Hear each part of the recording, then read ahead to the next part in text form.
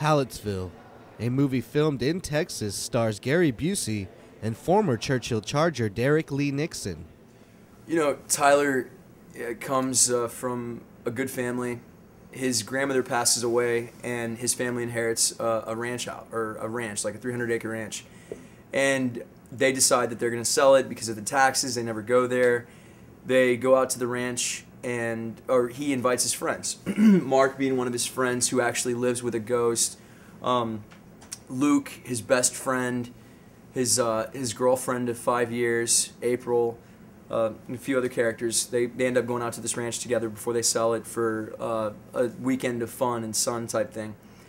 When we get to the ranch, everything is different than what we expected. Objects moving around by themselves, little scary ghost kids seen out of the corner of your eye, and, and something that definitely doesn't want us there. Want to hear something creepy? What? In the early 1900s, there was a school on this property where a bunch of kids got murdered. Shut up. It's true. He had 10 kids in his class. In what year was the Alamo fought? 1836. And what battle followed? One day he became ill. Ah!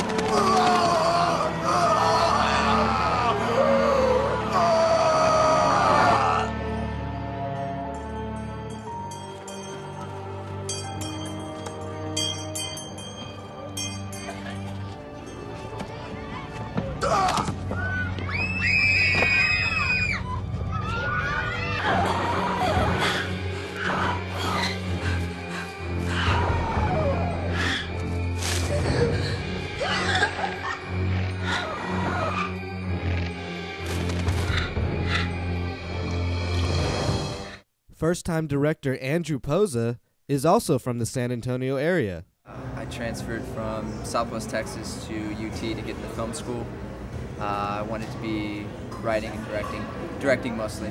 What I've noticed with first time directors, I've worked with a couple of uh, first time directors, and they just they're very indecisive. When you're a director, I mean, especially on a budget, you know, we had half a million dollars to shoot this movie.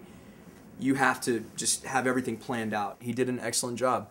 I had no complaints as far as uh, as far as any of his work is concerned. He's he's been great, and I would continue to, wrote, to hire it, him. He wrote it as well, and he directed. yeah, he wrote it. the screenplay. So he kind of he kind of knew, you know, what he was getting into because he, you know, it was his, you know, it was, it was his script. So, but yeah, he he uh, he was he was definitely he was he was good, you know, as as a first time director.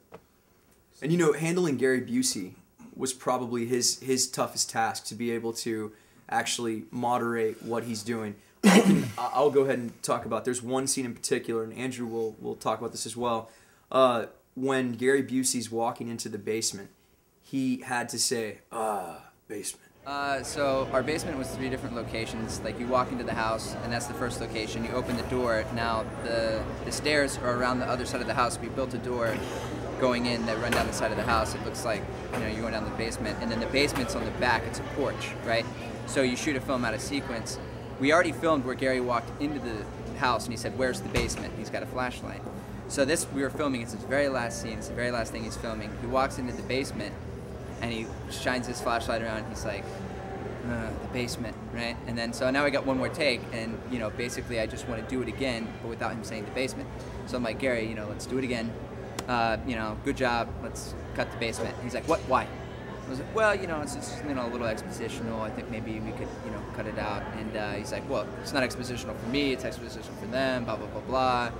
So um, I was like, well, let's just lose it. So he takes me outside. He's like, can we talk for a second? And go, yeah. And he's like, you know, ah, blah, blah, blah, blah. I'm putting my heart out there. You can't just give me that. He's like, I'm going to do it your way. But, you know, blah, blah. He's really upset. Um, so he comes in, he does it, and he storms off to the trailer, and we're done. And the first AD is like, you know, you don't want to end it with Gary like that. I was like, oh, he'll call me into his trailer in a second. So he does.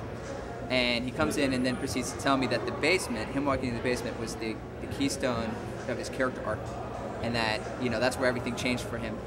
So he would like to record it wild, which means you just record the sound while you say quiet on set and you don't shoot the video. And uh, so I said, "Would you like to do it wild?" He goes, "Yes, I would." So we went to record it, and uh, it was like quiet on set. It's like action. And he sits there and he's like, "The basement, the basement, the basement." And then the first AD goes, "Are you done, Gary?" And he goes, "No." It takes like another minute of just saying the basement. Oh God, the basement. Where is the basement? It's over there.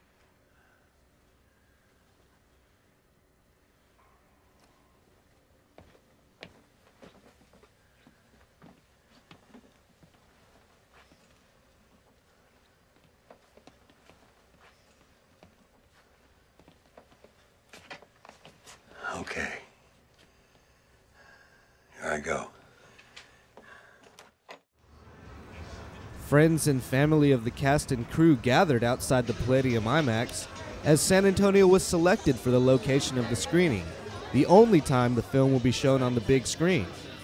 The star studded affair included all the highlights that you would normally get at a Hollywood premiere, including a walk along the red carpet. So how did you uh, end up playing this part in Hall- the Hallettsville movie? Uh, well, I had worked with the director before with Andrew, and so he just brought me on board to play the role of Kristen, who came out to Austin. Are you from San Antonio? I'm not originally from. I'm originally from El Paso, Texas. And what do you think of having the premiere here in San Antonio as opposed to a place like LA? I think it's great. I think there should be more films here in Texas. I'm a Texas native, so I'm all in support of Texasville. Did your character survive to the end? I survived to the end. I mean, you'll have to see how I survived. You know what what, what happened along the way, but yeah, I survived. So what was it like working with the Gary Busey? The Gary Busey. I mean, he is one of a kind. That is for sure. Was we call him little Buseyisms that he does? What are they acronyms? Where he takes Yeah, a word yeah. and he splits it up and tells you letter by letter. You know what what like life means to you. It was very. I mean, it was. I learned a lot. It, was interesting. It was Interesting. very interesting. Yeah. All right, what brings you out to the Hallettsville premiere? Well, uh, Derek's a good friend of mine. He's uh, one of the writer producers, and a lot of the people in the uh, cast and the production are from San Antonio, and I'm a big uh, supporter of San Antonio film. Uh, so uh, I've got my own organization here called Cine Studio San Antonio that's trying to create production classes for kids from my old neighborhood. So the more I support projects like Hallettsville and Derek, the filmmaker, then you know the more it's going to do something good for San Antonio and San Antonio film in general. And of course, other stuff that you've been doing lately. I mean, you've been on 24 ER, and you play the Skinner on one of my favorite shows, Dexter. Um, one question: How is how is it on the Dexter set? It's great. You know, I work with Lauren Velez, uh, who played uh, Detective LaGuerta, and I like it like that. And I know Jimmy Smits, you know, from coming up in the business together. So it was great to be able to get together with them. Uh, and then Michael and Jennifer and David Zayas. I mean, all those people are great. And they've built up a, a great ensemble cast, and it was really great being able to just walk into a show like that and do what you know what you're good at. So, you know, it was great. All right, is Michael C. Hall as creepy as his character of Dexter? No, he's a nice guy, man. He's a really cool dude. You know. The screening of Hallettsville in San Antonio was indeed a rare opportunity for the city. Hopefully, it will inspire other filmmakers to do the same. Lawrence Goins, SACurrent.com.